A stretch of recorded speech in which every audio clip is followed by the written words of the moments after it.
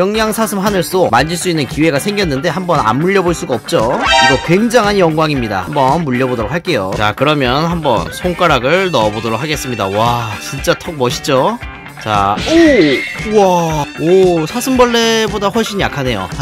지금 힘이, 예, 그냥 톱사슴벌레 수컷 정도 턱 힘인 것 같습니다. 와, 이렇게 물려도 기분이 좋아요. 와, 진짜 멋있다. 너무 멋있습니다. 영양사슴 하늘소. 오, 오, 와, 턱 힘이, 와, 생각보다 약하네요. 오, 오, Run. 오, 오, 오, 어우, 아프네.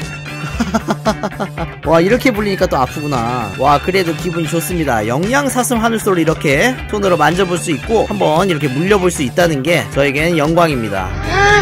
우와. 너무 멋있죠? 이 영양사슴 하늘소가 살고 있는 생육지와 개체군들의 보존이 잘 이루어졌으면 좋겠습니다